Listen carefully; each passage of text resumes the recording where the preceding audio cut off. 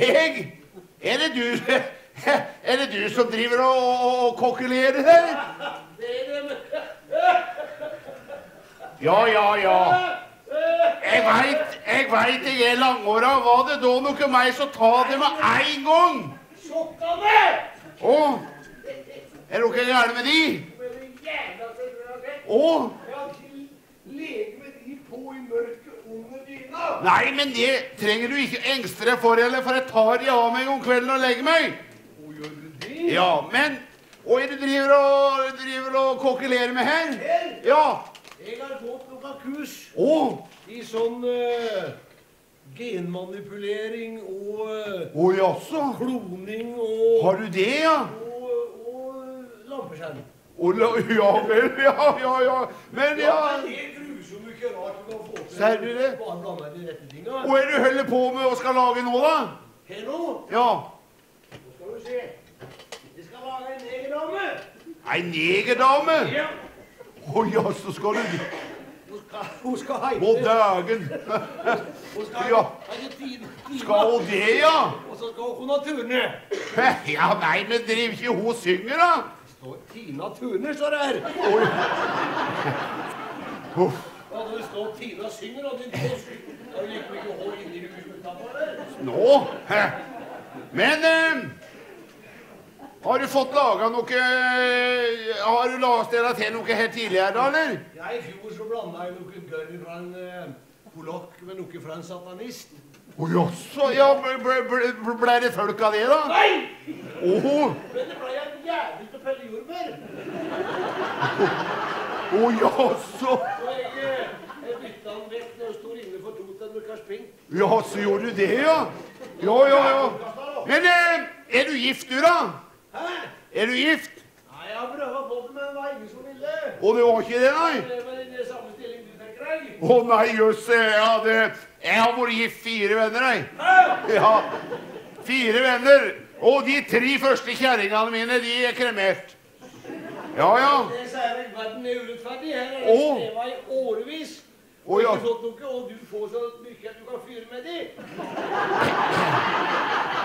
Ja, men eh, Men eh, Hva er det, hva er det her Og er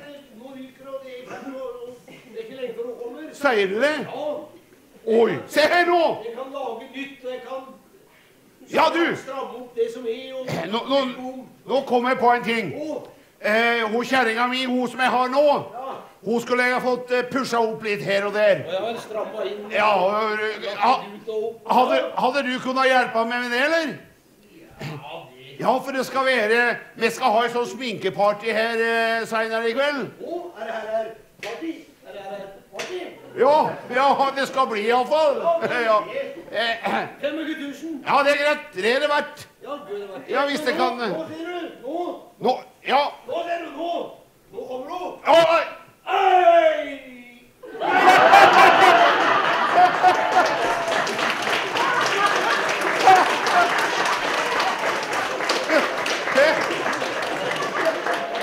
Her har du megerdama di!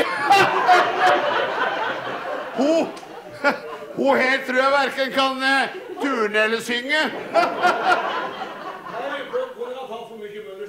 Ja, det tror jeg du, må, jeg det tror jeg du har gjort. Sigrun! Ja, Sigrun! ja, men i helvete. Kan du eh, Har du fått det her, da? kan du ta deg av han der? Kan du prøve å på noe med klær på Neffal? Ja, ja. Og så, og så ringer du med han opp på Neffal. Jaha. Og så spør om vi kan bruke den til noe kronrevy. Ja, det spørs om det kan.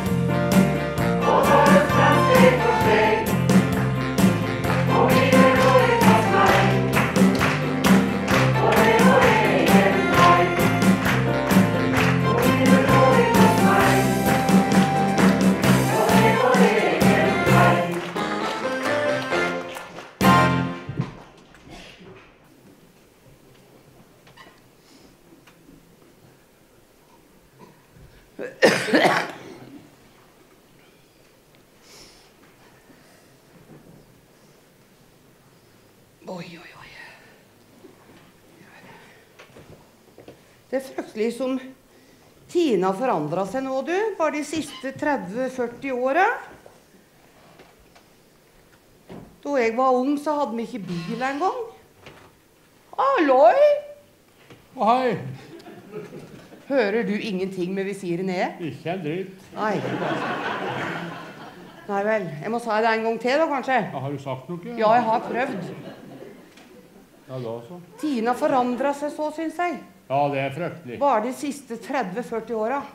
Ja, Det kan ikke sammenlignes i det hele tatt. det vet du. Og den gangen hadde vi ikke bil, vet du. Ikke bil, og ikke så vidt en hadde en sykkel. Ja, det var på grensa, det òg. Da skulle du noen plasser var det ta buss eller Ja, det var tog, det. da, vet du. Og, Men det går ikke så mye tog lenger heller. Nei, ikke det- til Kragerø, i hvert fall. og skulle man en tur til Kragerø, så var det å reise om morgenen, det. Ja, det var det. Og tidlig reiste bussen hjem igjen, så han fikk ikke gjort noe særlig der heller. Nei. Det var mest uh, å kikke seg rundt. Men de var var så var- dårlige språk Det var det verste. Ja. De skjønte ikke mer. Hadde liten språkforståelse. Ja, De skjønte var- ingenting. Nei, Sørgelige greier, altså. Men var eh, det? det var moro hvis en kunne reise utover mot juletider. Ja. Sånn rett opp under jul. Ja. Det var stas. Og jula begynte ikke så tidlig. Nå, Nei, det gjorde ikke det. Nei. Nei, altså, men kan du huske i hos Stiansen den i, den i Vønnøy der? Der satt en nisse med en Jo, Stiansen? Stiansen var det. Ja, ja, Og der satt en nisse med en sekk med pakke med sida av Ja. seg, og så satt han en lommelykt som han bøyde seg framover, så lyste den. Så satt han sånn Ja, ja han satt sånn og lyste. Ja. Østmer kunne stå i flere timer Ja. og se på den. Det var en opplevelse. Det var det virkelig. Og når han kom hjem og så fortalte om dette her Ja. greiene, vet du ja, det var Vi hadde noe å prate om i ukevis òg. Ja. For det var ikke så ofte han var til byen, og Det var da ikke det. Det var noe stort, tross alt, altså. Men åssen står det til med deg nå, da? Ja, så tålig. Ja, det er det. Men jeg har nå vært er uføretrygda pga. ryggen, da. Å, ja vel. Ja. Men så tenkte jeg det blir grusomt trasig bare å gå hjemme og vase. Ja, det er klart. Ja. Så tenkte jeg at nei, nå må vi noe finne på. Så tenkte jeg la meg prøve en sånn naturmedisiner. Ja. Og det, gikk til en sånn en, og det, som regel så er det et eller annet du har for mye av, eller så er det noe du har for lite av. Og, Ja. og når det gjaldt meg, du, så var det bjørk. Var det bjørk? Ja, jeg mangla bjørk. Ja, bjørkesaft, da kan jeg tenke meg. Nei. Ikke bjørkesaft. Nei. Jeg skulle få et lite skaustykke, Oh. og så skulle jeg hogge litt bjørkeved. Oh. Ja, For bjørk, hogge bjørkeved i usprøyta skau og motta svarte penger, det er bra for ryggen. Dette hadde han prøva på flere andre tidligere. Og det var faktisk de som var oppi mellom 50 og 100 favner i året.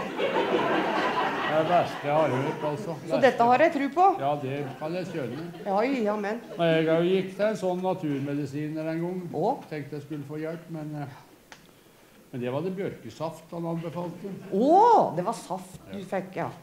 Så jeg gikk av gårde til ei stor bjørk og hogg et hakk og, og begynte å tappe saft, vet du. Ja, du gjorde det sjøl? Ja, jeg gjorde dette selv, jeg. Og drakk dette her, men, men det hjalp ingenting for meg, altså. Du gjorde ikke det? Jeg Nei. jeg tror det antageligvis så måtte ha vært ei hengebjørk. Ja, for, Ja vel. Det var ikke ryggen med deg, nei? Nei, nei, nei. nei. nei, er dette for noe, da? Og det, det kommer noe bakafor Ja, det er disse forbaskede kragegaukene. Det Så vidt du. du kan De er her oppe i kroken og Skikkelig snørrgauk.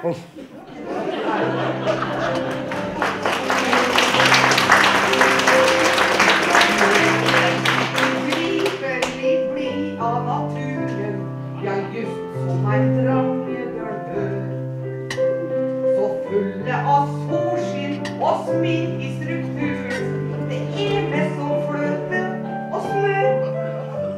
Men om du er aldri så utsøkt forbanna, så er det ei type som gjør meg forbanna. Og ha er fra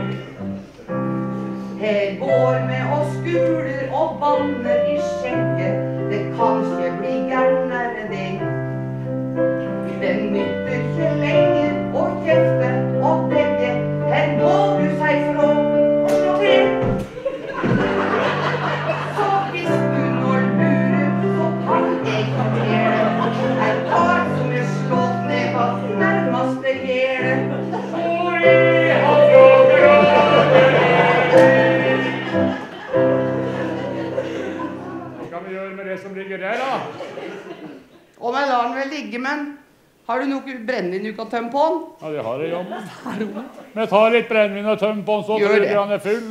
Ja. Det var ikke så farlig med det.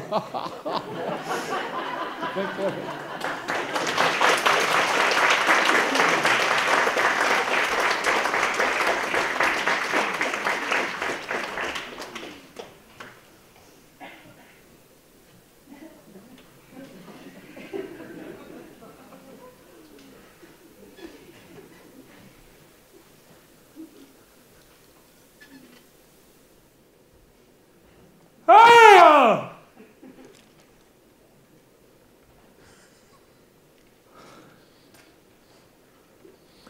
God dag. Nei! Du har blitt eh, kalla ut på øvelse, du her, ja. Ja. Ha, hag, har du blitt sett opp med hagle nå? ja, skal han treffe noe, så eh, Ja, nei, det er vel kanskje ikke så rart. Nei. Men du, disse dagpengene vi får, det er ikke stort å bli feit av. I hvert fall ikke noe særlig feitere enn det vi allerede er. Nei, krig er ikke nok for oss å gjøre penger på, veit du. Nei, men hadde vi bare hatt 50 000, vet du, da kunne vi blitt rike da. Hadde vi hatt 50 000, da hadde vi vært rike, da! Rikere, da, din skamskåtne pasifist der du sitter. 50 000 er mange penger, er det? Ja, men det er ikke så ille hvis det er utgifter til inntektservervelse, vet du. Eh, Utgifter til inntektservervelse. skjønner ikke hva han gjorde. Nei, det Det betyr at vi kunne ha starta for oss sjøl. Ja, butikk, mener du? Ja, butikk og butikk. En av oss kunne ha reist nedover til, til Vest-India og så plukka ut et dusin sånne feriedrone snupper og tatt med hjem igjen. Og så Nei, så kunne vi ha dratt i gang med sånn kroppsterapi og intimmassasje. Tror du ikke det er vært? Ja, bordell, mener du? Du må ikke kalle det det, vet du. Ja, Men tro, tror du det vil gå, da? Ja, det vil det gå, ja. Tenk det markedet her i Drangedal, da. Jeg er sikker på om vi er kommer til å tjene bortimot 100 000 i måneden. På hvert kvinnfolk. Hund. Ja, nå er jeg med. Ja, jeg er med, altså. Men, men, men hvem av oss skal reise ned og bli ut de vi vil ha, da? Det tror jeg må bli den av oss som kan si Den dominikanske republikk. Få høre du prøve. At det var Den dominikanske republikk. Da tror jeg jeg må si det fryktelig fort. Ja, ja, ja. Få høre nå, da. Den domplikken. Ja, det var det jeg trodde jeg, jeg greiser. Ja. Thomas! Middagen er ferdig! Ja, jeg kommer.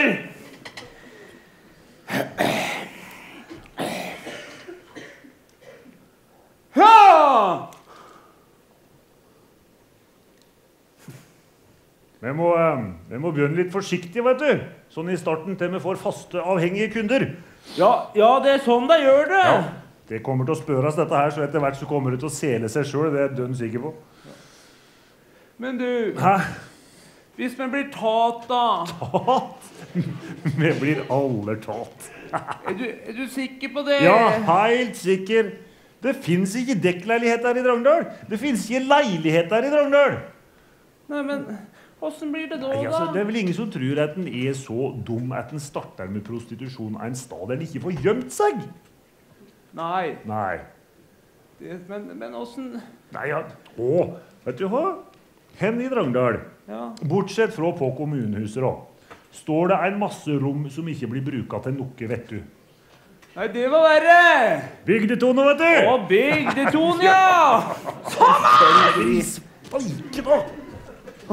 Ja, jeg kommer! Nå er meddannkall! Det er pin med du er snart.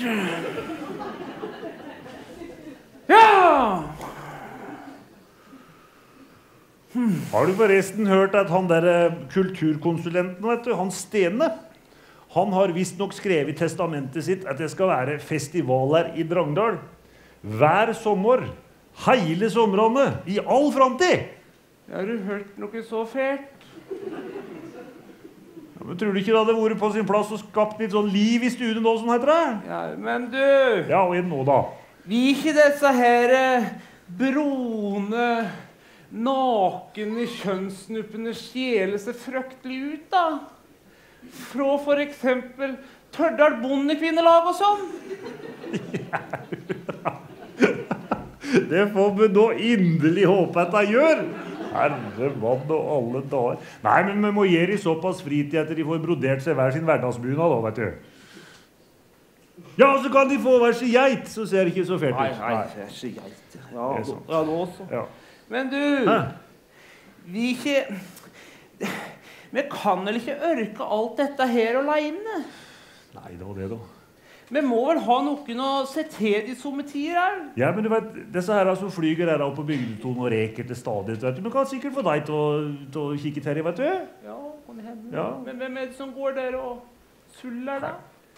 Vet du ikke de heller, da? Nei. Ingebjørg Nordbø og Gunnar Skårstøl, vel? Å, Gunnar Skårstøl, ja! Kommer du ikke nå, kan du legge deg uten meg! Jeg kommer! Det blir ikke noe på deg i kveld! Heller!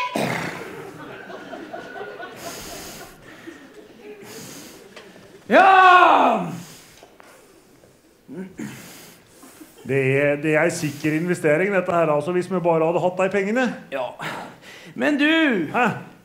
jeg lurer på om ikke hun der Om ikke hun Gunhild har noe penger på bok etter far sin? Ser du det? Det kunne hende hun har lånt de så lenge. Ja, for vi må komme i gang fort. Skal det bli noe lag på dette her, altså?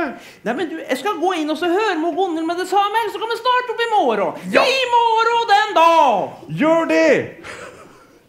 Gjør endelig det! Din dumme hannkatt der du går. Der var den ferien sikra. Å, fader. Du skal feriere, ja? Ja. Ja, ja, ja. Hvor langt skal du? Eller Dominikansk republikk. Å, Ja. Ja, Reiser du nå, eller? Nei, jeg kan ikke reise ennå, vet du. Å? Nei. Jeg kan ikke reise før uh, før elgjakta er over. Nei, nei, nei. nei. Det går ikke. Det er klart det. Kjære vene. Tippetrom. Ikke la dem inn for å se om jeg kan få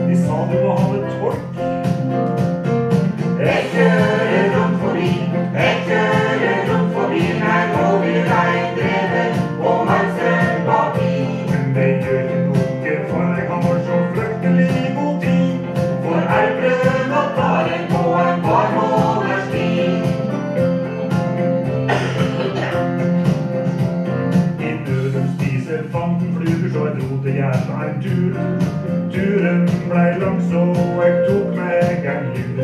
Og jeg våkna opp og så at her var en bomstasjon.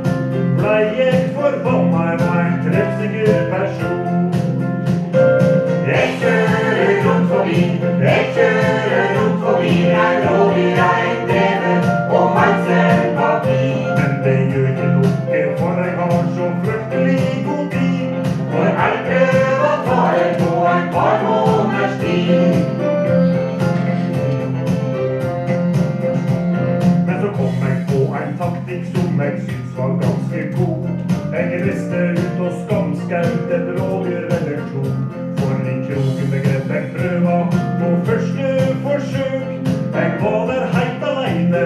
Når de dreiv med til sjø.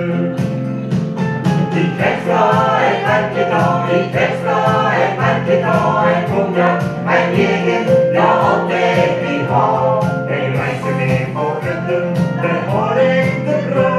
Det treffer en venner som gjør deg meg privat. I Kveldstad en merkedag, i Kveldstad en merkedag, en konjakk, en egen, ja alt det vi Mejores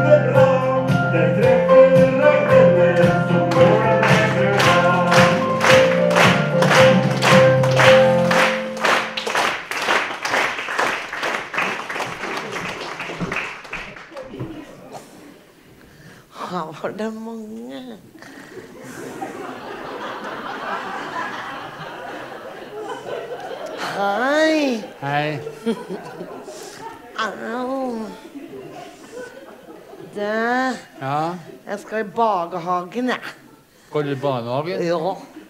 Jeg går i sånn eh, korttidsbarnehage. Å? Ja. Går du i sånn korttidsbarnehage? Nei, jeg har for lang tiss. Det har ikke jeg. Men vet du hva? Nei. I barnehagen min, der lærer vi om sånn blomster og bier og Jeg liker ikke bil, jeg, for de Nei. stikker. Ikke jeg heller. Mm. Men bagagetanta mi hun sier det at jeg, kommer til å like sånn bier som stikker når jeg blir stor. Ah, ja. Men også lærer vi sanger der, da. Ah. Skal jeg ta en for deg? Nei. Men du hvem, hvem pappa har du i år? Pappaen min, han eter maur, han. Ja, men vet du hva? Hæ?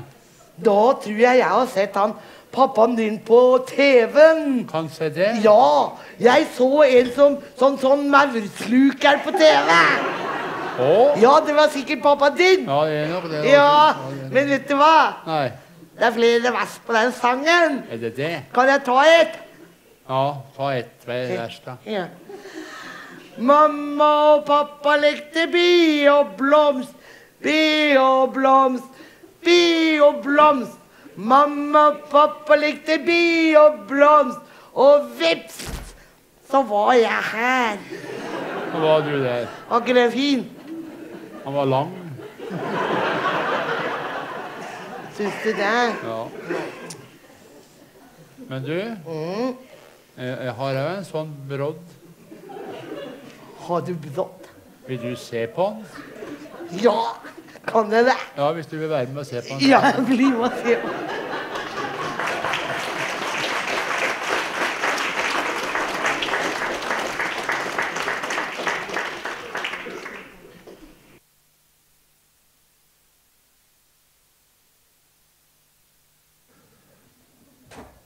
Nei, men fanken, Tore, du kan da ikke sitte her og holde på hvert eneste tre eller Kragerø. Nå er, det, nå er turistsesongen på full fart oppover, og så sitter du her og skal prøve å spare på alle de trærne som fins. Det er mer enn nok av skau. Sitter her som en annen tusseladd.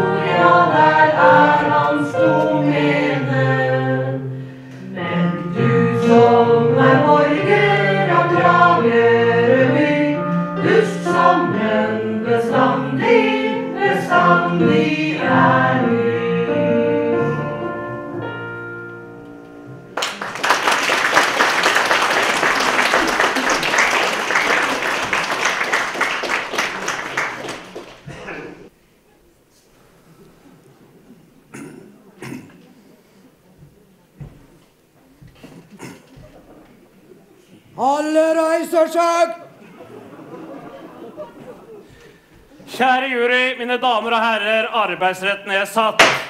Som dere kan veit, må de høye tallene på arbeidsledige i Vestlandsdistriktet ned.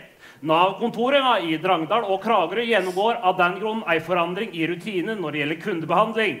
Før fram første arbeidssøkende. Navn. Ola Dalen. Tidligere stilling. Ja, hvor lærer. Hvor lærer. Ja. Og nå har du tenkt å begynne arbeid. Nei, jeg vil helst slippe. Svarer du au, din jækel? Se å få Det er vel nå ingen som har bruk for en gammel lærer, tror du det? Se å få han ut! Huet av og skrotten i gryta!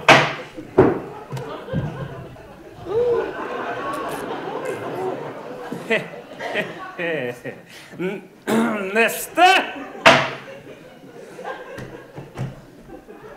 Jøss. Hva er det med deg, da? Jeg har vært med Petter Wessels i Danmark.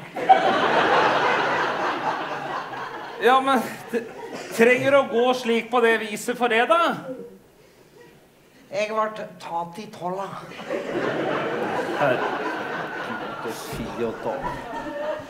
Har du et navn? Sigurd Bertelsen, sier jeg. Tidligere stilling? Om onderst. Jaså. Har du vært oberst? Onderst. Nei. Jeg mener tidligere stilling i arbeidslivet. Ja, men jeg har nå alltid vært underst, det, da. Nei, men nå skal vi se om vi ikke kan finne opp det. Se her, ja. Telemark hoftedysleksiforening trenger en ny medarbeider. Å, Ja. Telemark hoftedysleksiforening. Du som har vært så mye underst. Du har sikkert ikke problemer med å verken lese eller skrive. Lykke til, he-he, før og ut. Neste.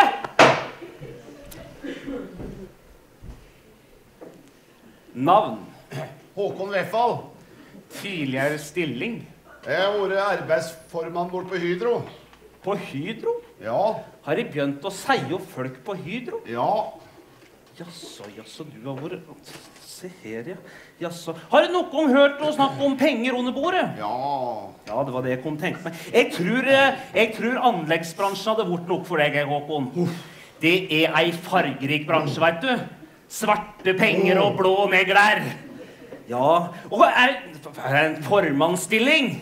Det hadde vel kanskje vært mest naturligste. Du som har treninga, mener jeg. Du er sikkert ikke, du er sikkert ikke, du har sikkert ikke problemer med å være kødd på Heidi! Før han ut! Neste. Navn. Cecilie Hagane. Tidligere stilling Jeg jobba i helsevesenet. i helsevesenet. Det er da vel ingen som blir arbeidsledig i helsevesenet? Nei, det vet jeg òg, men jeg har sagt opp jobben min sjøl, for nå er jeg så lei av gamle og sjuke folk. Det er da vel ingen som har sagt det skal være moro å gå på arbeid? Se og kom deg tilbake igjen til helsevesenet, og det er litt Brentvik, eller skal jeg få deg innlagt som pasient på gamleheimen? Det får du iallfall straff som fortjent! Neste!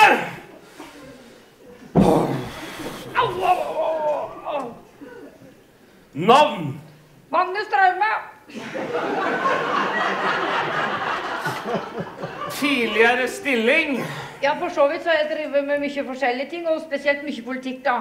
Akkurat for tida så har jeg vært eh, styreformann eh, på Biaton på Gautfallheia. Akkurat. Ja. Så du har vært styreformann på Gautfall på Biatlonheia, du. Skal vi se her Jaha, der har vi en. Den passer veldig fint til deg. De trenger ny billettør på skieisene på Gautfall. Så kan du se åssen de òg driver inn litt penger òg. Ikke bare ause de ut! Få den ut! Blir det gærne nå, så neste!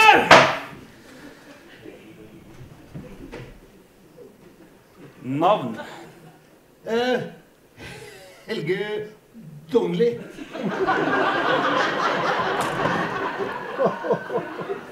Helge Rognli? Ja. Neste!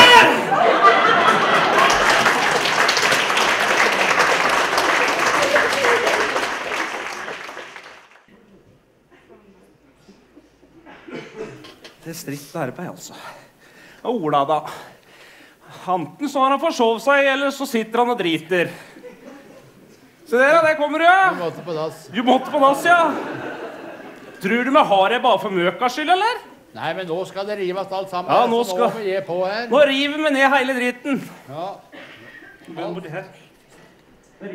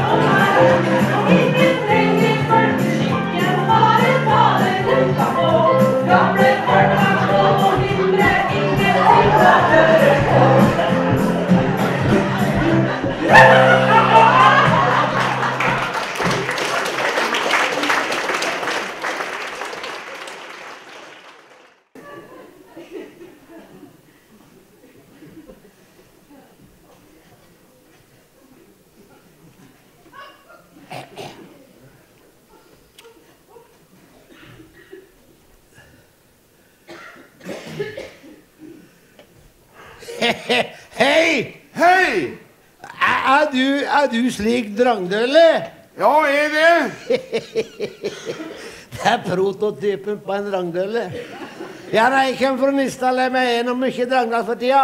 Ja. Men de drangdølene, det er noen greiekrabater, det. Å ja, ja. Ja, bortsett fra tørrdølene, da. Å, Jeg har møtt én grei tørrdøl, jeg. ja, du har det, ja. Han var fra Vrådal.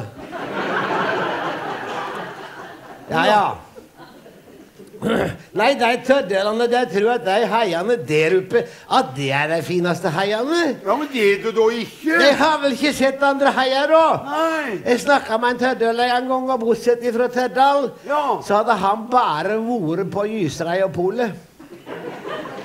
Å jaså. Og så var det en tørrdøle som fikk jobb som slik landpostbud oppe i Kjosen. Å ja. Og første dagen på jobb der så kom han fram til en gård med litt sånn smal, svingete vei opp. Ja. Så han, han snudde og så rigga han opp. Ja, han gjorde det, For han visste ikke om han fikk snu på tuppen. Nei. Det gikk det fem minutter, så kom han riggende ned igjen. Jeg fikk snudd han Ja. Det er gruelige greier. Og på fjellgardene, der bor det snart ikke folk lenger. Gjør ikke det, nei? Nei, det er godt. Å jaså, ja. Ja, du veit, det er ingen, ikke noen kvinnfolk på fjellgardene som blir gravid med et mannfolk. Å? Nei da! 95% av deg blir gravid med et uhell. 95 jeg, Ja. Jeg, visste ikke det bodde så mange der oppe en gang, jeg. Nei. Nei, det gjorde ikke det.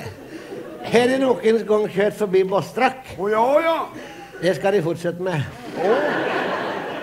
Ja, på Bostrak med Sputnik. Ja, Sputnik, ja. Og nå har Vegvesenet satt opp et skilt rett nedenfor husene til Sputnik. Ja. Og Sputnik er gruelig stolt over hele Bostrak valfarta for å se på det skiltet. Jaså, du. 60 km står det på det skiltet. Oi, oi. Ja, ja. Ja. Og at det der grendehuset som de bygde på dugnader oppe, at det kan stande, det kan ikke jeg skjønne. Å jaså. Jeg var oppe og kikka på den der mura, jeg. Ja. Og da sto det to bastorakkinger oppe på stillaset, og de sto sånn enda det var ikke vind. Oh. Nei. Oi, oi. Og så tok han ene så la han vater opp av muren, og så sa han til andre Du, sann, så du den blåsa som for forbi? Nei, det er gruelige greier. Men ellers så er det vel Ellers så er det vel stort sett. Ja ja, det bor faktisk folk i Kjosen her. Ja, det gjør det. Ja, altså, Kjosungene det er de mest lovlydige Drangdal. Å jaså, er det det, ja? Ja, det er ingen kjosunge som er over 3000 km i kjøle, kjølengde årlig. Oh. Jeg kjører bare når det er edru. Til, til, til, til, til bedre du blir kjent med en kjosunge, Ja. til gladere blir du i bikkja di. Ja da. Å. Og Kjosen det er den plassen i Drangdal som det bor flest ungkarer. Ja, så. Ja, ja. Og ungkarene i Kjosen kan du si, de har seksuallivet i sin hule hand. Ja. Men så hender det da at en av dem får seg kvinnfolk. Og da har de seg noe så kraftig at til og med naboen må ut og røyke etterpå. Oi. Ja, ja. Nei, det er heftige karer. Ja, ja. Men ellers så er det vel Ja, ja, du har disse her fryktelige Hensøy-folka òg, da. Hensa, ja. Ja, du vet Hensøy-folka, de tror at Hensøy er sentrum i bygda, de. Ja, men det er det da ikke. Fuål er et sentrum. Ja. Og nærmeste naboene Straume. Å ja, ja, ja. Det er bare én ting som folk på Hensøy og Straume er enige om. Ja. Og det er at de har dårlige naboer. Å jaså. Ja. Du er Fra Hensøy kommer hun der kjerringa i folkeeventyret, vet du. Å. Kjerringa mot Straume. Ja, ja.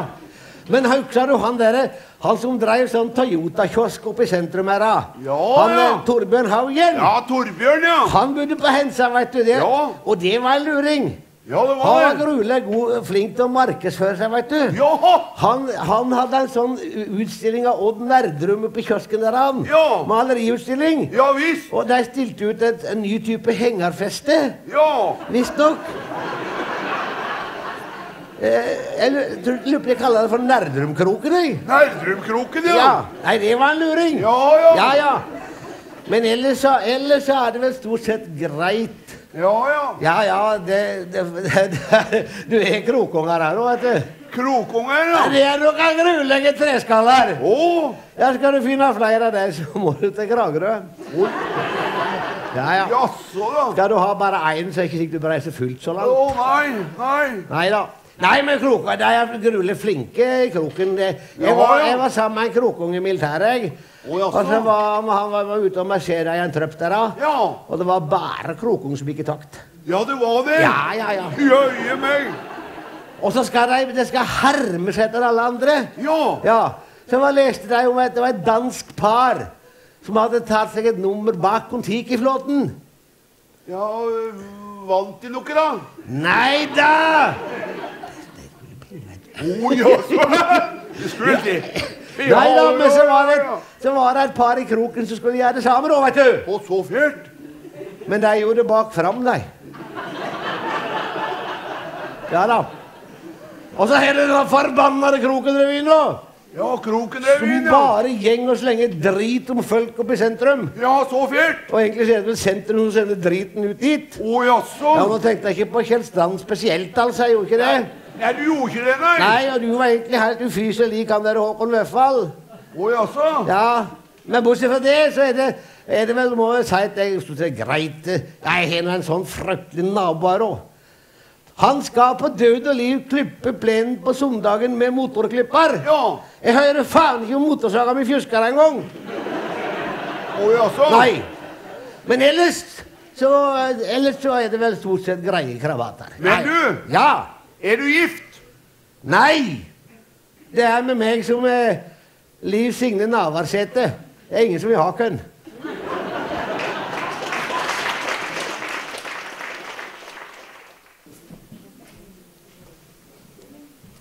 Se du for deg da, Gonhild.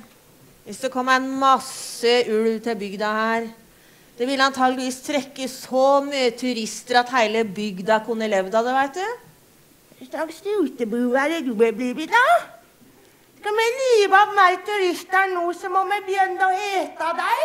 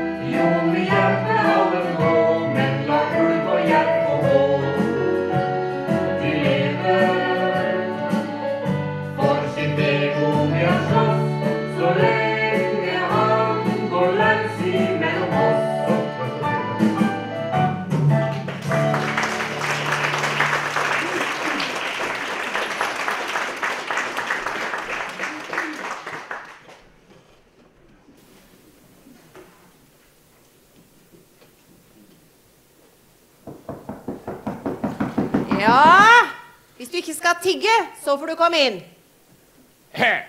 God dag. Er du eh, Er du, er du enkefru rundt meg? Ja, det er Eh, jeg har fått en jobb her hos deg. Jaså?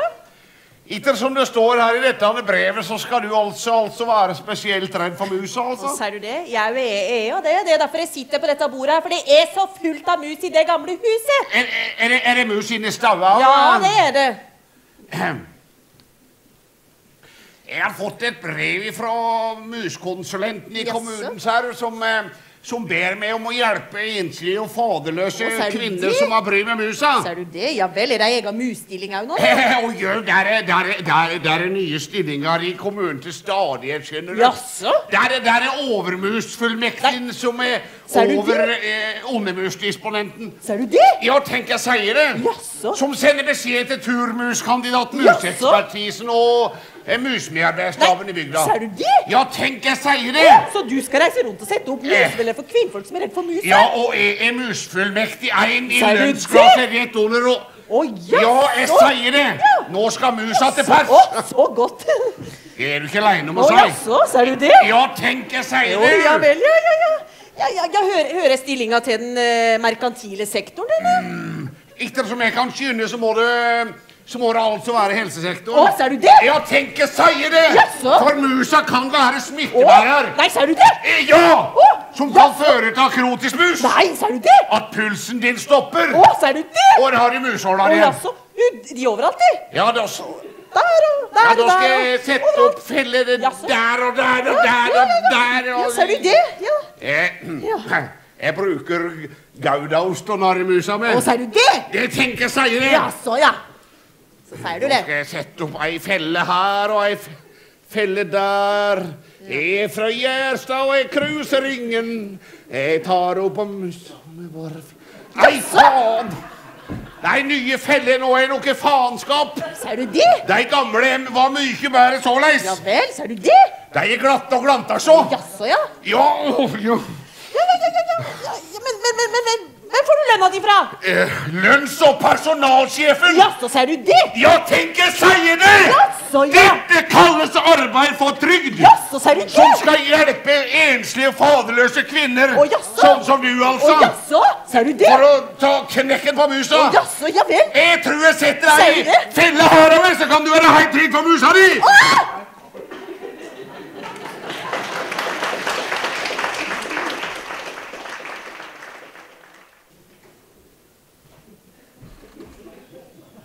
Nå skal jeg fortelle dere om den gangen det var god pris på revskinn.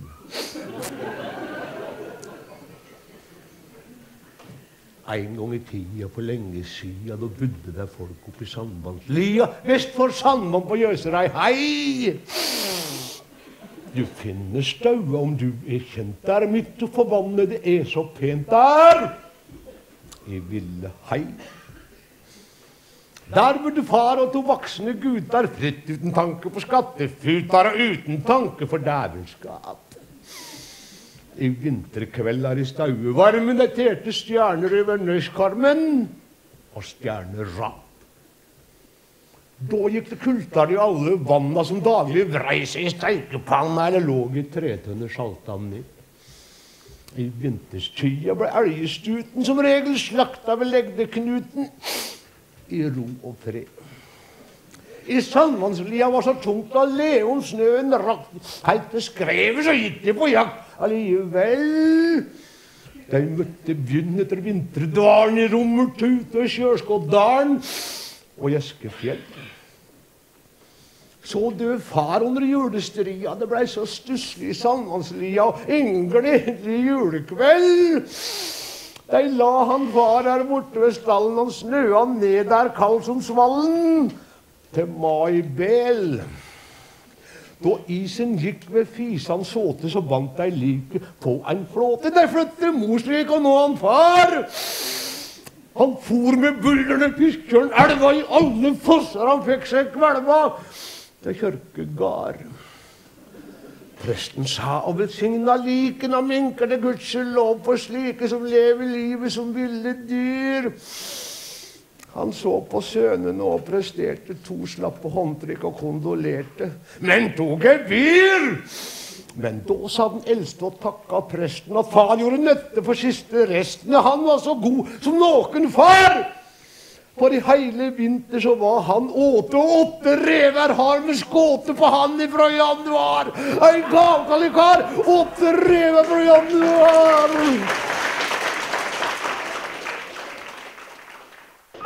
Nå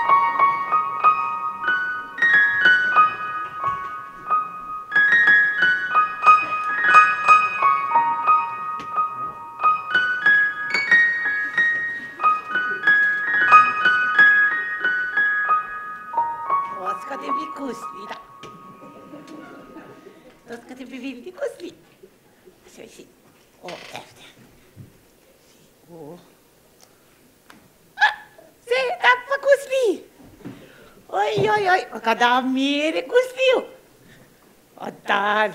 Den er fin. Og sånn. Nå var det veldig koselig nå. Nå, vi- God dag, da. Hei, du! Hei. Titt ned. Ja, takk. De har sånn eh, pala. Takk så vel. Paraplydrikk av de. Oi, oi, oi, ja, det er stor paraplydrikk. Ja, det er god. å, tusen takk. Ja, jeg håper den var veldig god, da. Nå har jeg sikkert Det, det var litt av lukt her, da. Jeg var bare skritteglad. Da blir jeg glad, da. Sånn, da. Fin, da. Sånn. Ja, er bra. Bra. Men uh, Men hvor er du ifra, egentlig? Da jeg er nede i Thailand. Å. Ja. Men eh, mora di eh, Mora di, lever hun, eller? Nei, jeg er ikke hore, da. Nei. Det var ikke det jeg sa heller. Jeg sa Nei. mora di, lever mammaen din. Ja, ja, ja, ja da, mamma lever. Hun gjør det, Ja, ja. mora mi, kom da, mora. du skjønner Der.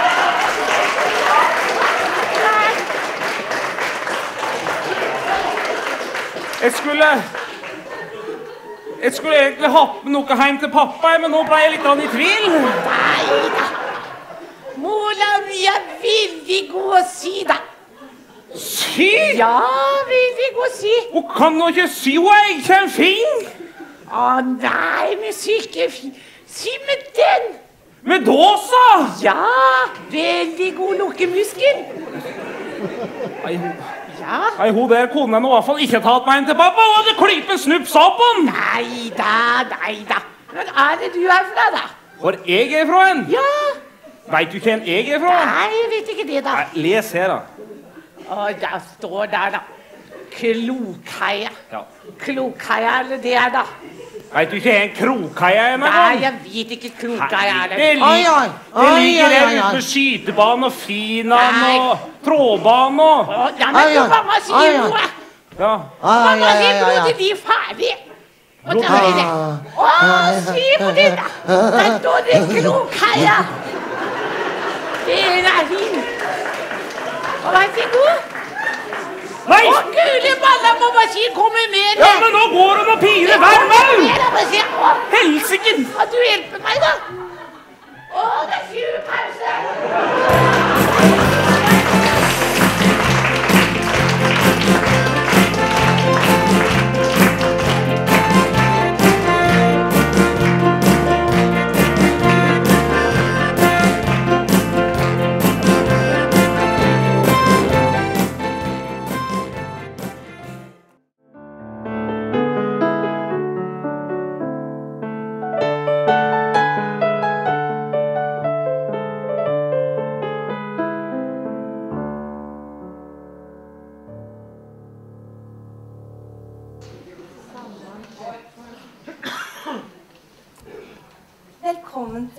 Brennaktuelt.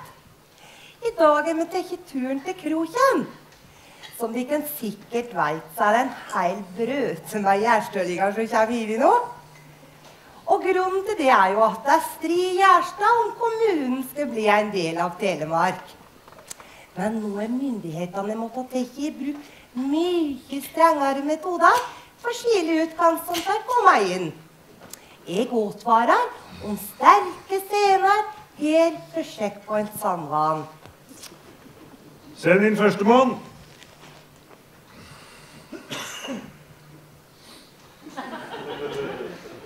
Ja. Navn? Per Kåre Hagelia. Når er du født? 7.8. Åssen år? Ja, Hjemmestad hvert år. Prøver du å være komiker, eller? Nei, nei, bare si som det er. Der var det pinlig mye å hente, verken intellektuelt eller på andre måter. Sånne som deg vi ikke har. på dette bordet. Herre mann til Vas. Unnskyld meg. Hæ? Dette var en altfor streng tolkning av regelverket. Han har sikkert ikke hatt den rette skolegangen. Og kanskje han bare har hatt én mor. Han kan helt sikkert bli en stor ressurs for bygda. Det kan han aldeles ikke, for når han ikke kan svare på så enkle spørsmål som det der, der så har vi ikke bruk for han. Han kan bare holde seg på den sida. Ferdig med det. Som er å prate om. Neste! Hei. Hei, ja. Navn? Gunn Svevstad. Vevstad. Mhm, Yrke? Litt usikker på hva de kaller det, men jeg tror det kommer i kategorien frie yrke. Det er jo Mm. tross alt et av verdens eldste yrker. Ja. Ja, forklar, forklar litt, kanskje. Eh, Litt flaut å snakke om, men eh, skjønner du Jeg driver ganske med å våge opp gjennom tida. Bå- Bågeskytter? Misforstår du. Det dreier seg om salg. Salg. Butikk, altså! Ja, så sier vi det. Butikken But- er med hele tida. Ja, ja, butikk, ja, ja. Ja, nei, men nye næringer er bestandig velkommen i kroken. Vær så god, velkommen til kroken skal du være. Å, pinsokker. Neste.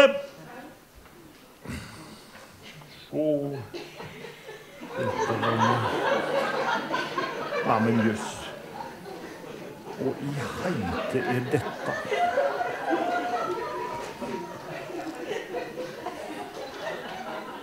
Ja. Eh, Navn? Jeg heter for Guri Katrine Heiland. Mhm. Årsaken til at du kommer rekende på grensa, da? Det er blitt helt umulig å bo i Gjerstad. Jaha. Åssen da? Jeg tror at folk er helt galne der oppe. Blitt helt gøy. Ja. Har du noen eh, eksempler på dette, eller? Ja. Kan jeg få høre, da? En dag jeg skulle på butikken, Mhm. så så jeg at de hadde høne på tilbud. Ja. Da tenkte jeg det blir en fin middag til mannen min og ungene, tenkte jeg. Mhm. Jeg skal ha ei stor høne, sa jeg til talsmann. Ja, det har jeg pinadø hørt gjette, svarte han. Ja, det var, et, det, var, det, det var et merkelig svar. Har du, har du flere eksempler som kan underbygge denne søknaden din, eller? Ja, Kan jeg få høre, da? jeg har òg en moped. Ja, det skjønte jeg nesten. At du kjørte moped. En da jeg skulle på butikken, Ja. så tok jeg mopeden. Mhm. Men han fjuska og lugga så galt. Fy da. Så jeg kjørte innom da, for å høre om han kunne finne feilen. Ja. Mopeden lugga så galt, sa jeg. Mhm. Nå kan ikke jeg skynde anna enn at det må være noe gale med setet, svarer han.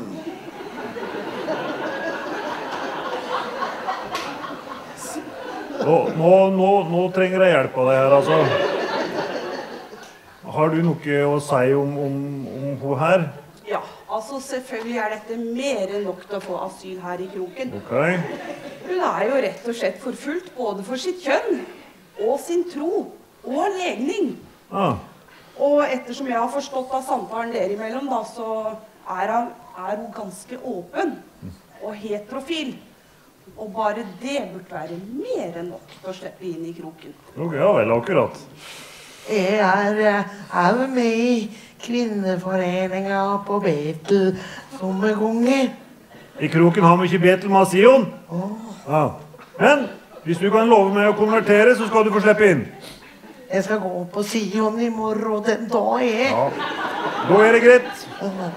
Velkommen til kroken. Men du må ikke gå den veien. Strålende! Enda en person som kan berike oss med sitt kjønn og sin kultur. Fremfor vår farverike kroken. Hurra. Himmel og hav. Neste. Navn? Per Kåre Hagelia. Jeg sendte deg ut i stad. Ja, men jeg må vel kunne få lov til å svare på noen spørsmål. Har du større tro på at du kommer inn nå? Ja, jeg hadde det. Tror du må leke butikk her, eller? Nei, nei, da nei. kan du gå igjen. Nei, men... Hysj, nei! Eh, Huff. Få skjønn nå dette, da. Pinen blir bare gærnere og gærnere. Neste! Å, dæven. Jøsse navn og halve dager. Er det du, Viva? Jeg vil så gjerne slippe inn. Ja, navn? Lars Ali Kveim Sheriff. Du verden. Og du kommer fra? Gjesta. Akkurat. Og der kaller meg stort sett Ali Lars. Ali Lars, det ble litt enklere. Ja, ehm, Forklar deg. Klar? Ja, hvorfor du vil Å ja. Du skjønner, 14,5 år siden jeg eh, flyktet fra mitt hjemland. Det var lite krig og mye fred. Og så da jeg havnet i Gjerstad. Mhm. Gjerstad er god. Gjerstad er bra. Gjerstad er bra. Ja, bra plass. Ja, bra. Men hvis det er så bra i Gjerstad, hvorfor vil du flytte igjen da? Jo, så så jeg alle mennesker som går over. Ja. Og da tenkte jeg at kroken mye bedre. Kroken er best. Der er masse stått og penger å få. Nei. Det er ikke noe støtt å få her. Ingenting. Ingenting. Nothing. Ikke det grann. Her må hver og en klare seg sjøl. Ja, så sånn er det. Det er ikke noe å hente her. Men hvorfor går du og drar seg på denne bågen? Jo, du skjønner, jeg så den flotte dame du vet. Ja, hun som sto og knekka seg. Ja. Ja. Og hun, hun våga. Så jeg tenkte jeg våger jeg òg. Du hadde ikke sluppet inn her om du så hadde vært verdensmester i bågen. Kan du se og komme deg tilbake? Nei! Ja, men, ja, men Forsvinn! Unnskyld meg. Nei. Dette er en altfor streng tolkning av dette regelverket ditt. Ser du ikke at denne stakkars brune, misbrukte lille mannen, han trenger beskyttelse? Har du ikke sett på TV hvor de synger Ali, Ali, Ali, han blir du så glad i. Han er deilig og herlig, og han kurerer gruff. Jeg har ikke gruff på lista mi her, jeg, altså. Ja, men Ifølge Helserådet er det mye gruff i kroken. Du må hore på dama. Du må hore på dama. Jækla godt poeng, altså. Jeg Du må hore på dama. trenger ikke hore verken med eller på noen. Og nå forsvinner du herfra. Herremann, altså. Neste. Er det det? Navn? Nei, tredje gangen. Ja, ja, men nå, nå, nå skjønner jeg det. Optimisten sjøl. Skjønner jeg det. Skjønner? Ja. Tror ikke du skjønner noen ting, jeg? Nei, nå skjønner jeg det. Jeg skjønner det at de kan vi ikke ha med her. Nei, balle kommer du, Eureka står Det er jo som en folk er ikke kommet fram. Jeg bare kikker etter ei 1,43, kjempefeit, rødt hår. Har du sett henne her? Nei, det har vært mange raringer her, men hun har jeg ikke sett. Jeg har kikket veldig etter hvor jeg ikke er.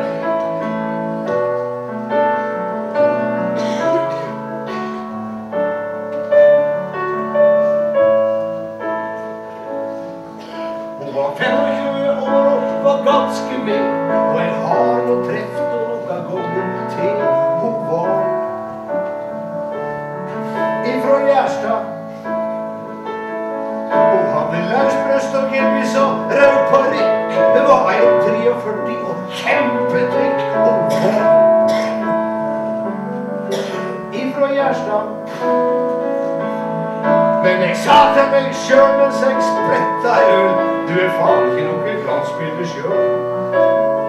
Du og hun ifra Gjerstad. Hun hadde smuringsproblemer og dårlig glid, men jeg tok det rolig takknemlig, for jeg har god tid. Jeg veit at joiken kommer. Da sier jeg hei og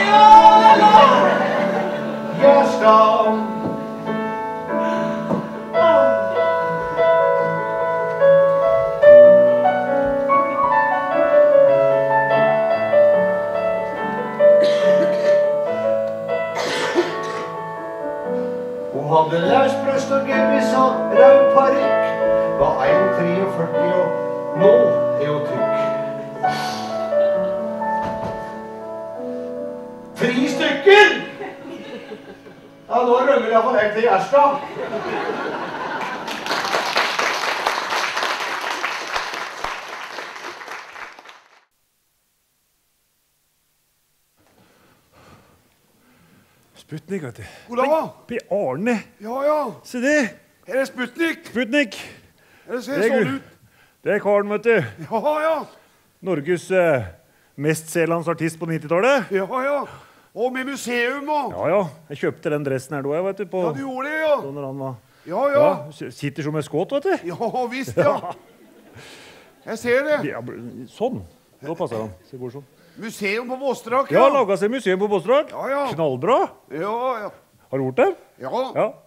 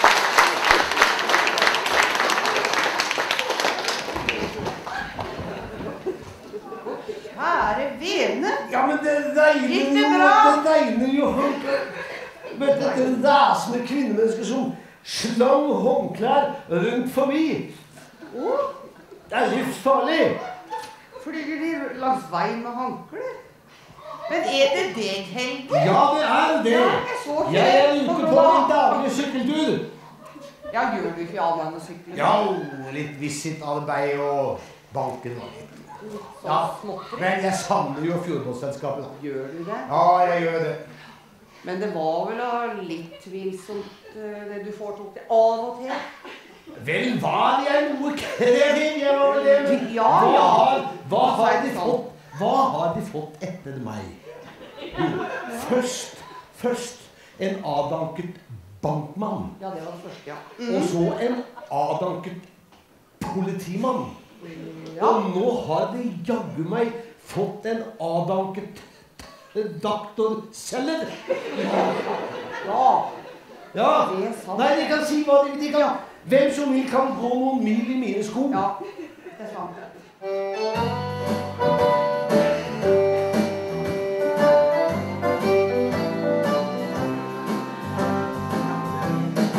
Nei, jeg eier ikke gull og grønne skoger. Og i banken kaller ingen meg For. Ingen planer legger jeg for morgendagen. Jeg er glad hvis jeg kan få se en slik igjen.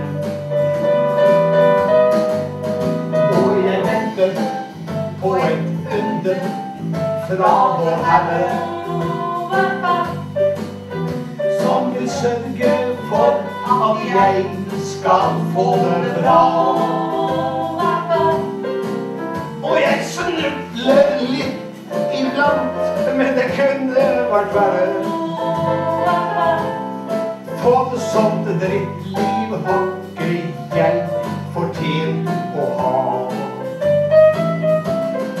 Og jeg bryr meg ikke om Dine tanker Du kan begynne med å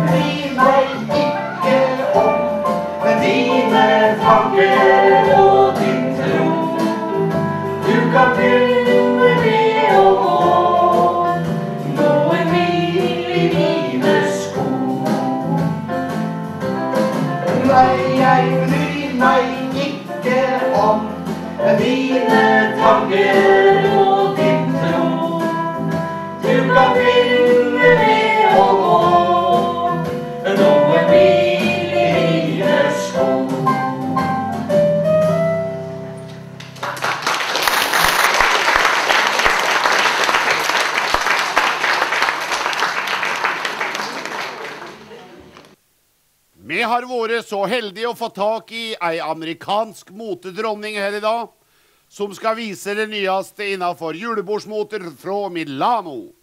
Ta godt imot henne, mine damer og herrer, Miss Levi's Jeans.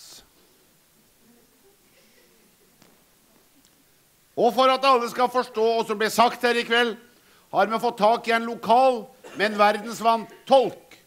Ta godt imot han òg, mine damer og herrer. Ove R. Settelse!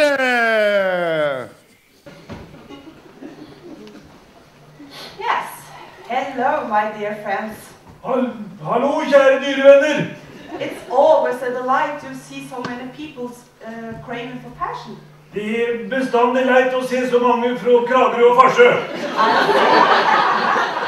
I'm so grateful to be here tonight. Jeg er så dritfull her i kveld. So, are you ready? Så er de ikke redde. I said, are you ready? Jeg sa er de ikke redde. First tonight, we got set ready. Først i kveld skal vi sette brøddeig.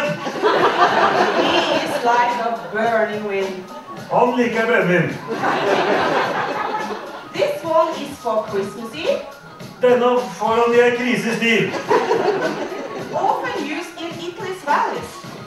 Ofte bruka i Italia og Valdres. Thank you, Seth. Vær så god. Next, we got Clear Sea Dolly. Neste ut kler seg dårlig. A very sweet girl. Ei veldig slett jente. She is wearing a blue Swiss. Hun smører med blåsveks. That grace. På det griseriet. Thank you very much, Claire. Vær så. Here comes my favorite guys. Nå kommer min favorittgass. He told me he also was very grateful to be here tonight. Han sa òg at han var dritfull her i kveld. He is Ford Alley Dippin, my friend. Give him some applause. Han, han får aldri dyppa, mine damer og herrer. Ta klapp litt for meg, stakkars jævel, det må være.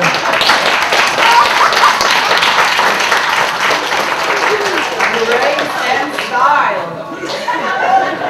Grisens stil. A man's call to life. En mann kalt Leif.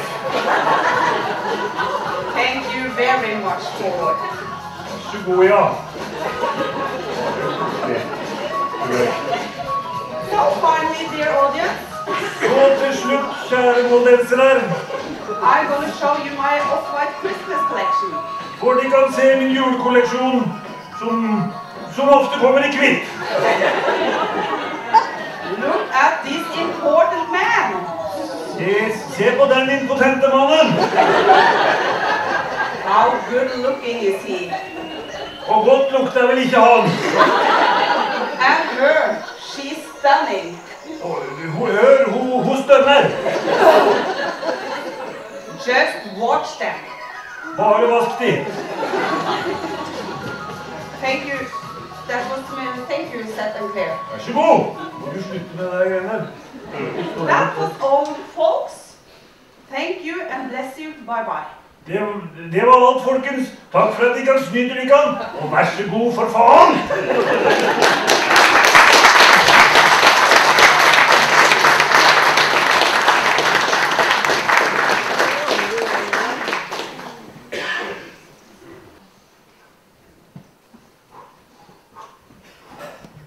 Det er harde fur. Ja, ta på dette her. Du har aldri hørt fotballsparking, da. Ja. Oh. Det er snart eh, cuppåpning. Ja, det er det. Branderscup. Nesten som i gamle dager. Nesten som i gamle dager. 93, 94. Ja, det var da det vilt. Husker du den der eh, gangen, eh, Håkon, som Kroken slo Drangedal på land? Ja, det husker jeg. Langt i støvlene! Langt i støvlene. Da var det ikke nå var de høyt oppe her, veit du. Ja, nå var de bitt så høyt oppe. Og så den festen på kvelden. Ja, med reker og hull så det flaut over hele Sandvann. Det var tjukt med reker. Ja. Å, fy... grisen. på søndag, da, Jon André. Ja, nå var de greiene, veit du. Veit du også, husker du hva som skjedde da? De tapa på turn i finalen. det var cupkrig. Det var cupkrig, det. Ja.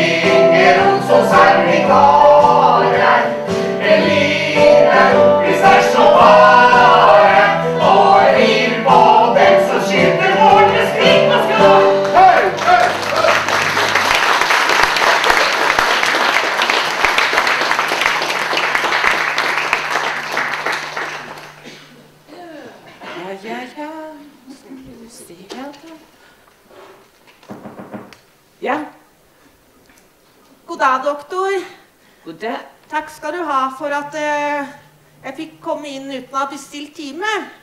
Ja, ja, du får begynne å, bruke, begynne å ta av deg dine klær. Å jaså? Ja. ja, du skjønner, nabokjerringa mi har sittet og venta i fire uker uten å få time. Ja, ja, hva feil det står her, da? Jo, det skal jeg si deg. Sa hun ikke det når hun ringte, da? Har hun blitt vasete nå, da? Ja. Nei, du skjønner det, hun skulle eh, henge opp brudebildet sitt. Ja, så stygt og fælt. Jeg ville ikke hatt det på veggen, hadde det vært mitt. Uff a meg. Der sto, vet du, i en eh, blåtøyskjole med raglansermer og greier. Og eh, mannen hennes, han sto i dressen han hadde hatt til konfirmasjon, da. Mm. Uff. Og foran seg så hadde hun en stor bukett med rododendron som hun skulle skjule magen med. Du skjønner det, den ungen hun skulle ha, den var lysgrådd som ei potet. Men det verste var i grunnen mannen, altså. Han hadde smekken på vid vegg, vet du. Det var rett heim. Ja. Uff a meg. Men det var når hun skulle krabbe opp på denne taburetten for å, for å slå i spikeren, så ble hun så jækla sondelen. Så råma opp i spikeren og blakk til tommelen og helt blåsvart, kan du tenke deg? Ja. Ja, Men det der trenger vel ingen doktor for? Nei, selvfølgelig trenger jeg jo ikke noe doktor for det, men du skjønner vel det, du som er doktor. Det var når hun datt ned av denne taburetten, så gikk hun baklengs og havna rett i en kommodeskuff som hun hadde glemt å skyve inn. Og det var da, doktor, hun braut av seg lårhersen. Nei, fortell meg, knakk hun av sitt lårben? Hmm. Det var da. Og mannen hennes, han orka ikke mer enn 14 dager etterpå. Da reiste han fra kjerringa. Men naboen deres, Ola, han er jo blitt aleine. Der har kjerringa reist. Ja, for du skjønner det at Ola han satt nede i, kjelleren sin en kveld og skulle brenne seg en skvett sprit, for han er ikke så begeistra for dette de har på polet, han, skjønner du. Så han rigga seg godt til nede i kjelleren der, vet du, og satt dunken godt opp mellom beina. Og så satt han der. Den eksploderte, kan du tenke deg, doktor. Og satsen den bare fossa opp mellom beina på han, og forårsaka en tredjegrads forbrenning på snurrbassen. Ja. Så ringte han doktoren, da, vet du. Men der fikk han jo ikke noe svar. Nei. Men heldigvis er Ola kjent for gode råd sjøl, så han ringte til nabokjerringa. Ja, hun er virkelig kjent for gode råd. Og vet du hva hun sa? Ja. Hun sa det at eh, du tar den stakkars lille forbrente snurrbassen din, og så legger du den i ei lita skei med rømme, sa hun. Og så skjedde det? Da skjedde det som aldri skulle ha skjedd. Hjemmehjelpa kom inn døra og så dette her. Hun blei stående så glo, vet du. Hun glamte. Så sier hun Hæ? Er det sånn vi kan fylle den her? Ja, men så får du ta det her glasset, og så fyller du opp med litt vann. Så, ta det nå. Da- Ah. Så mye rart. Der, der var den i gang.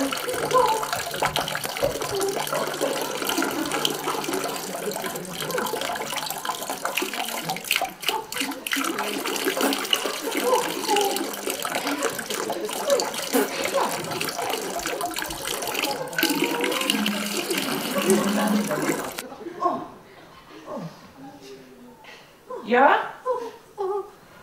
Er du så ferdig? Det blei av noen dråper, da. Ja, det var ikke lyd. Ja, hva står ditt navn?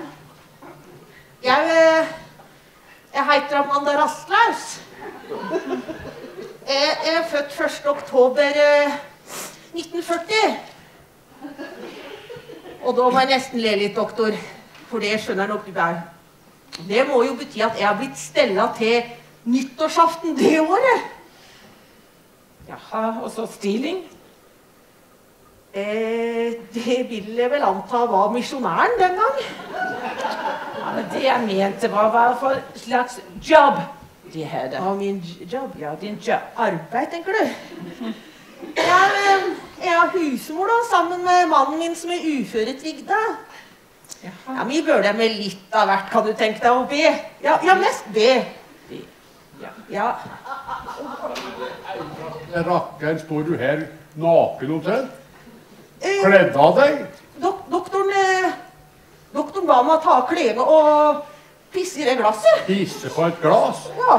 Ja, men du skulle bare inn og høre med doktoren om jeg skulle tippe det vela sen. ja.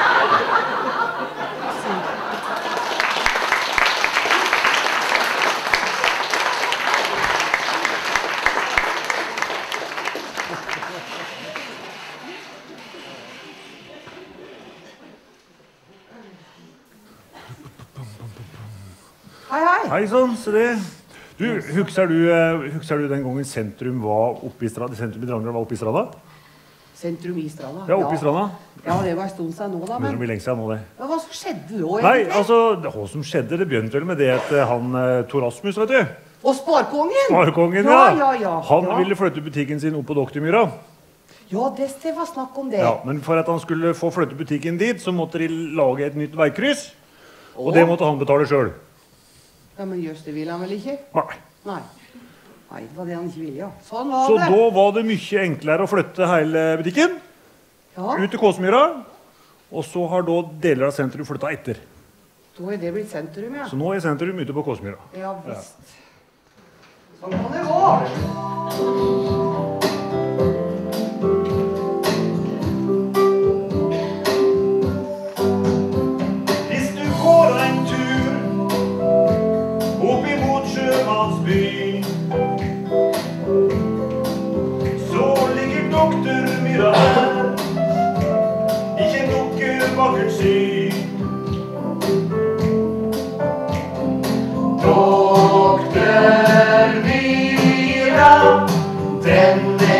Er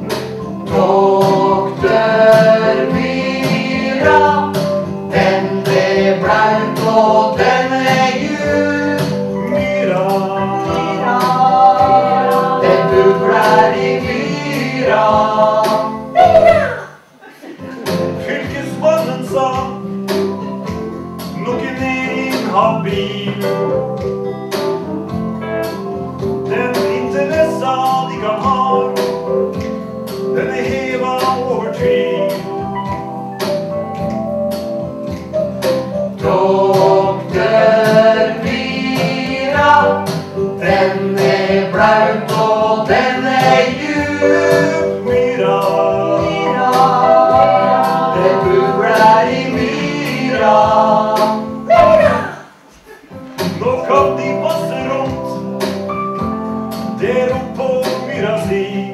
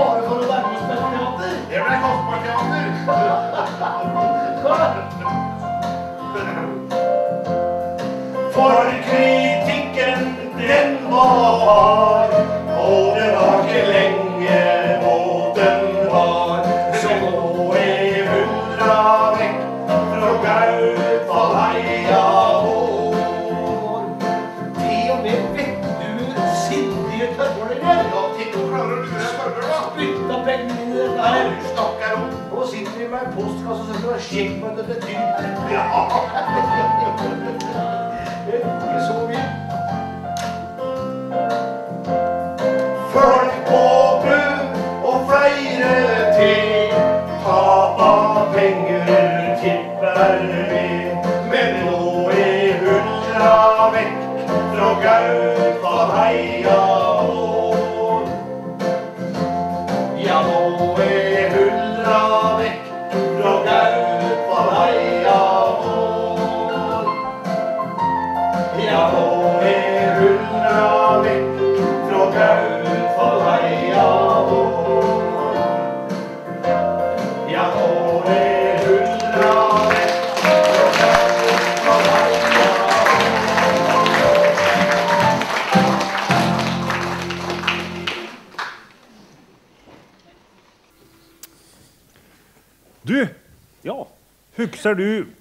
den gangen som jeg fikk lokalavis første gangen.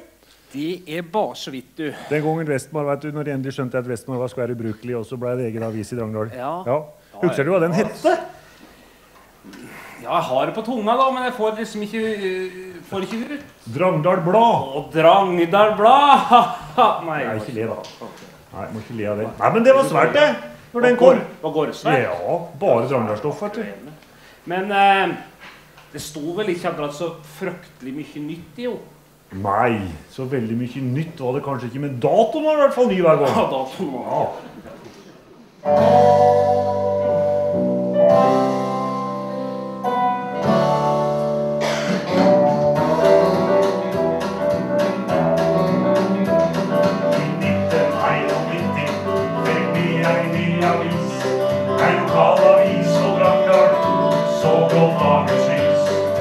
Navnet som de ga, det blei Trøndelag.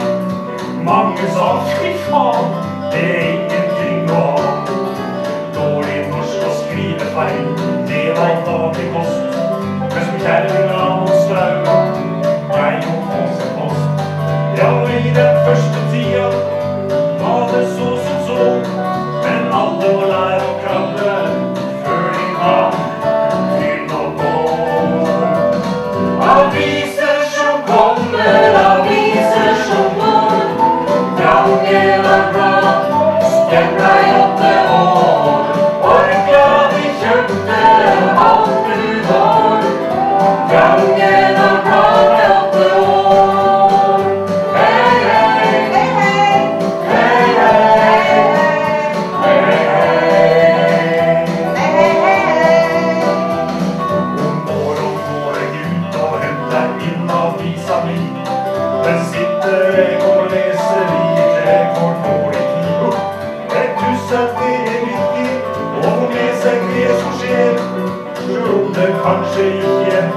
så mye som skjer her.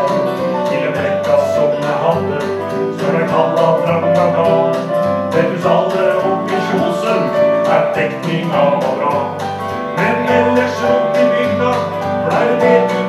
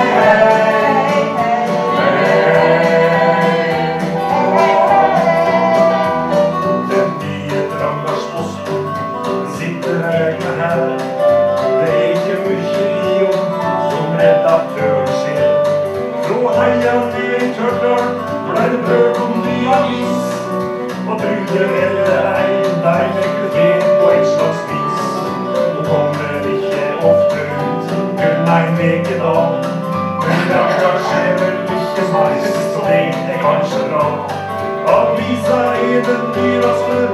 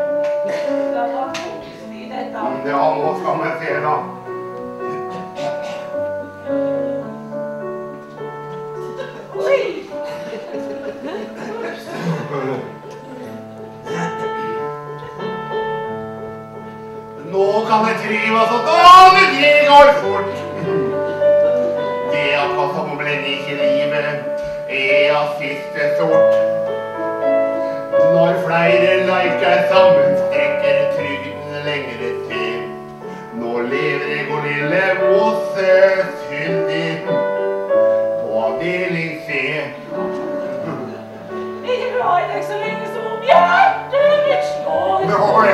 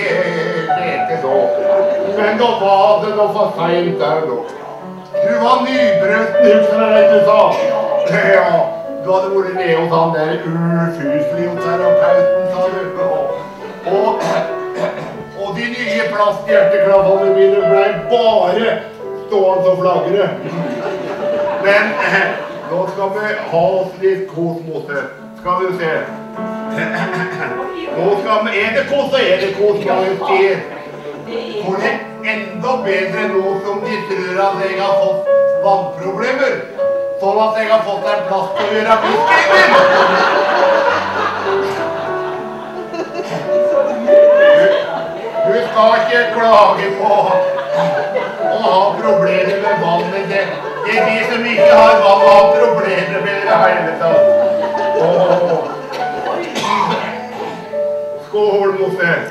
God jente.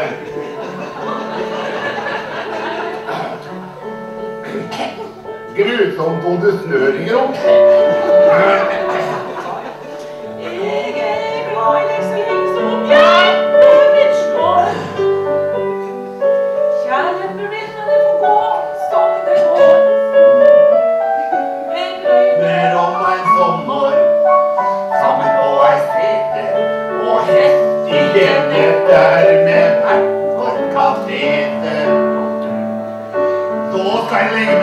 meg det bare plastbleie på. Og et høyt ros at det som skal gjøres, det får vi gjøre nå. Og måtte ta fram kampedråp, så vi vil ligge an til hele natt. Og vi vil ligge an seg til morgen og fortelle om sjukdommer som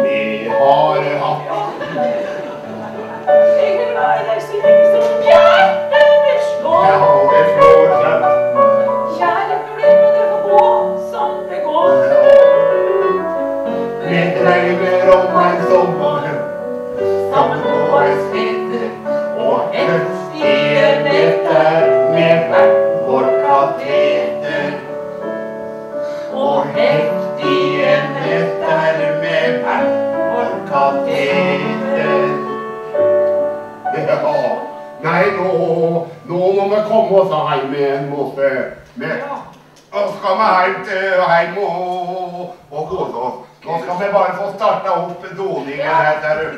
Skal vi hjelpe deg opp? Ja, men jeg tenkte bare skulle se hva noe Meiring skal gjøre hvis jeg først må her Og gråvære. Skal jeg hjelpe deg opp nå? Nå- kan du klore deg fast i skuret på doningen. Så. Og denne var så Ja, jeg har pussa den for deg, ser du. Han er nypussa og fin. Ja, ja.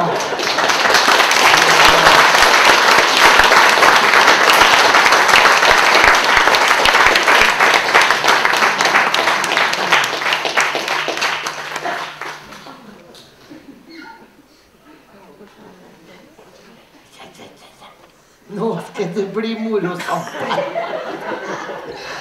Vi skal ha sånn Miranda-party. Og med kremer og bodylosjen og ja. Der venter jeg bare på de andre søstrene. Og så på vertinna, da. Ja, ja, ja, ja. Kan skulle hjelpe meg med å sette fram stolene. Kom, kom igjen! Hallo!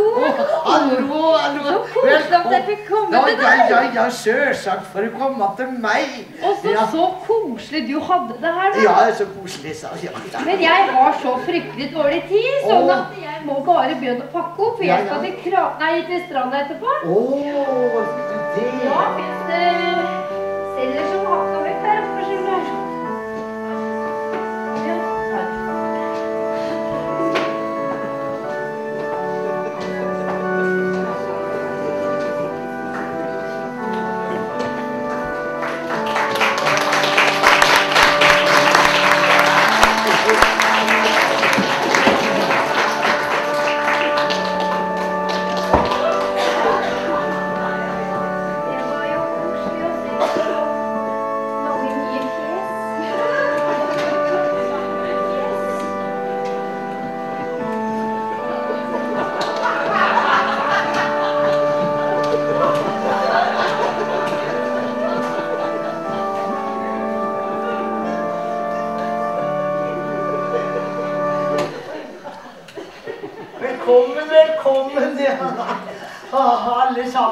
Jeg skal ikke ha noe i hvert fall. Wenche, Wenche. Nå, nå, nå eh, og er det seg sånn at vi har laga en sang til dette pipar-partyet. Jeg lurer på om vi skal begynne med den sangen, jenter. Ja, ja, ja. Espen, er du klar? Ja, men så fint, da. Trenger du litt din propp. Piranha kremer og bodyshop. En tur til en party hvor vi har det topp. Piranha kremer og bodyshop. Vi kan hjelpe deg veldig langt på vei. Rynkene flyr sin vei, og plutselig går når det lønner seg. Har dere kan du ordne nesten allting selv. Og gjør du ikke det, så kan du spørre Kjell. Men det vil kanskje ordne seg litt selv på kveld. Han kan hjelpe.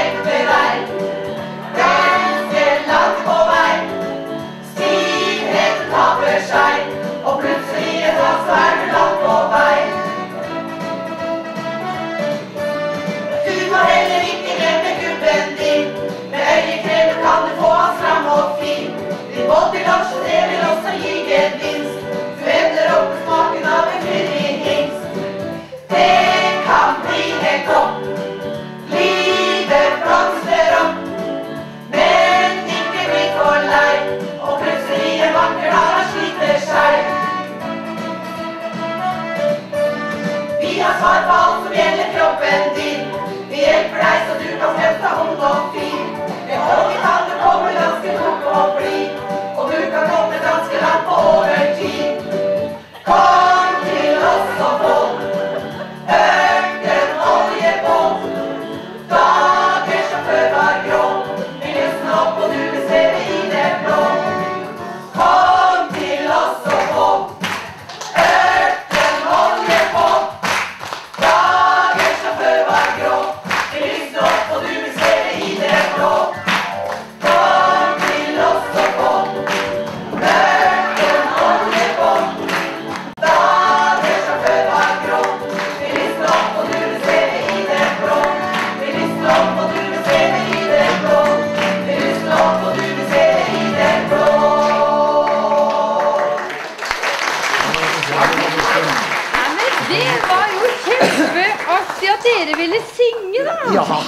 Men da skal jeg dele ut en masse kataloger her, som dere kan inn her og se. Er det på engelsk? Nei, det er på norsk. Vær så god. Ja, vil du òg kikke litt? Vær så god. Se her. Så må dere bare si ifra når eh, hvis dere trenger hjelp til noe. og Dere må prøve hjelp. Men Først og fremst så vil jo jeg eh, takke vertinna at jeg fikk lov til å komme her i dag. da. Jo, vær så god. Eh, og det var veldig koselig å se så mange nye mennesker. Ja. Eh, og blide mennesker. Ja. ja eh, og da vil jeg si at en voldsomt flott, eh, fin eh, Miranda-bukett med roser Ja, ja. Ja. Har du leppestift? Jeg har leppestift. Ikke ta den for rød, da. Rød! Ja, men den her er temmelig nære. Hvis du prøver på den. Det, Ja, hva lurer du på? Det, det står etter i lista her, men eh, jeg lurte på om du hadde sånn her, ja Sånn her middel Sånn glidemiddel. Nei, hos oss så har vi nå bare spytta på den i alle år, da. Og er det nok ikke slipstein å tenker på? Ja. Men du, Ja. har du, har du noe for hemoroider? Hemoroider? Ja Kanskje denne fotkremen, da. Den kan jo brukes til nesten hva som helst, egentlig. Og så med denne her børsten òg, da. Så hvis du da bruker den oppå der, og så liksom rufser litt eh, Kan hende at det kan hjelpe noe, i hvert Har fall. ikke noe større børste, da. Bruk dobørsten, da vel. Hei! Hei! Hei! Oi, oi, oi, kom her! Kom her! Kom her! Du ikke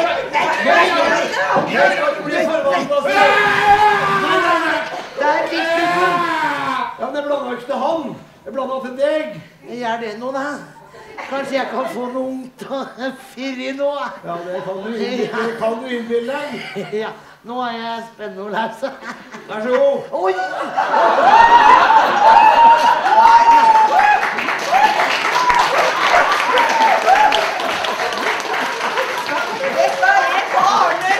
Jeg tror, jeg tror jeg må ha noe mer tyngde på det. Nei, du får, du får er det? Nei, nei, nei. Jeg vil ha noe mer Ja, men er ikke blanda til to. Nei, men jo da. Vi prøver en gang til. Selv om vi ikke får noe mer. Ellers så vil jeg ha igjen gubben. Ja, det kan du være uten. Nå får du ta det du får, Ja, altså. ja, ja, ja, ja, ja.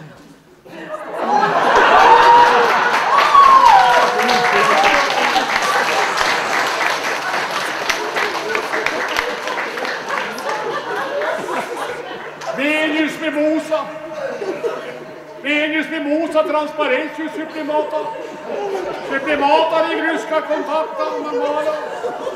Confie karion humoride humorala i fu og på mange strømmer.